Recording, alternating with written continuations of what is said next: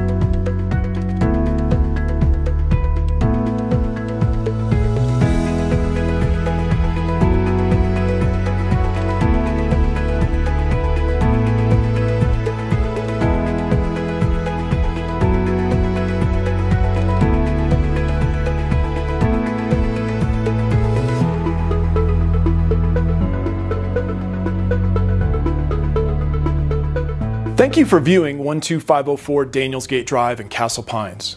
For current pricing information on this home or to schedule a private showing, call us at 720-528-8811.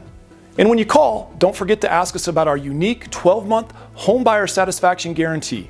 If you purchase a home through my team and are not satisfied with the home within the first 12 months, we'll sell it for free.